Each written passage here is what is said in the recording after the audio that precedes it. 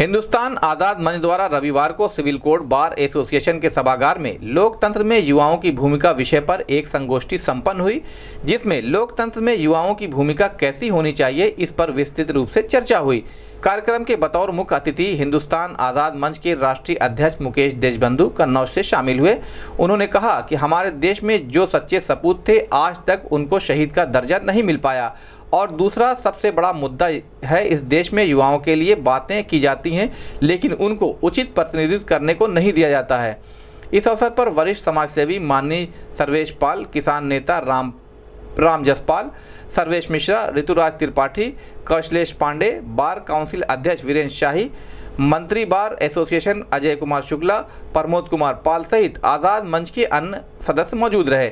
इस संबंध में गोरखपुर न्यूज़ संवाददाता से बात करते हुए हिंदुस्तान आज़ाद मंच के राष्ट्रीय अध्यक्ष मुकेश देशबंधु ने कहा। और कुछ भी मुँह सांस बोल करके चुनाव जीत सकता है उसके बाद में अपने तो अमीर तो रहे कुछ लोग अमीर रहे हैं चुनाव ये तो हकीकत है इस तरीके से बटा हुआ है, इतना मज़बूत तरीके से बटा हुआ है कि उसका बखान नहीं किया जा सकता।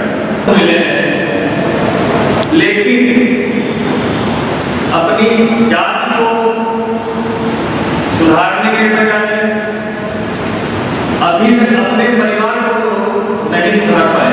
तो कोई दूसरा श्रेणी में लेकिन कार्यक्रम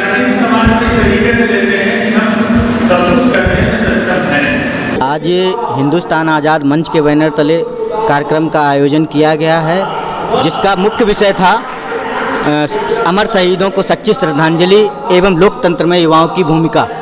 जैसा कि आपको पता है कि हमारे देश में जो सच्चे शहीद थे, आज तक उनको शहीदों को, उनका शहीद का दर्जा नहीं दिया गया।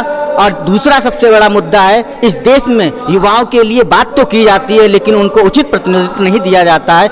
इस विषय पे आज चर्चा हुई है, पर चर्चा हुई है, और आगे इसको और कैसे आगे बढ़ाया जाएगा, युवाओं को कैसे उनकी भागीदारी सुनिश्चित की जाएगी, इस पर और आगे मंथन किया जाएगा।